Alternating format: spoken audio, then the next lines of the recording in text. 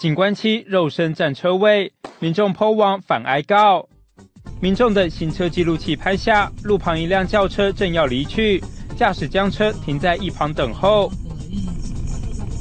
突然，一辆白色轿车停在前方，一名女子从前乘客座下车，接着往车位走来。待轿车离去后，女子不断往前以肉身挡车，并回头向驾驶示意一下，前方的白色轿车便倒车停进了停车格。这段影片上周三被民众 PO 上 YouTube，一周来吸引近十万人次点阅。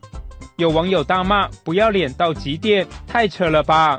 没想到画面中的女子上周六到高雄凤山分局报案，对破网者提告妨害名誉，并要求撤下影片。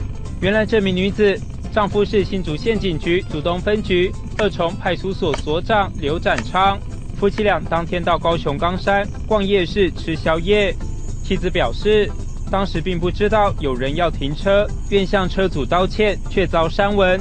而因为网友误会谩骂，只好透过法律动作停止不理性的言论。该名派出所长也表示，若对方有表示要停车，绝不会跟对方抢车位。